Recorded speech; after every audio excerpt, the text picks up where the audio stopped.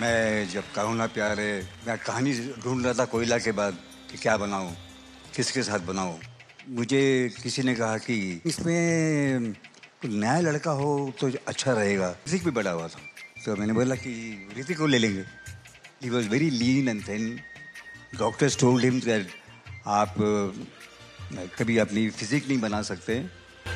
And slowly slowly with books he came to dumbbells and dumbbell से उसने फिर ये सब अपनी फिजिक बनाई। क्या बात है।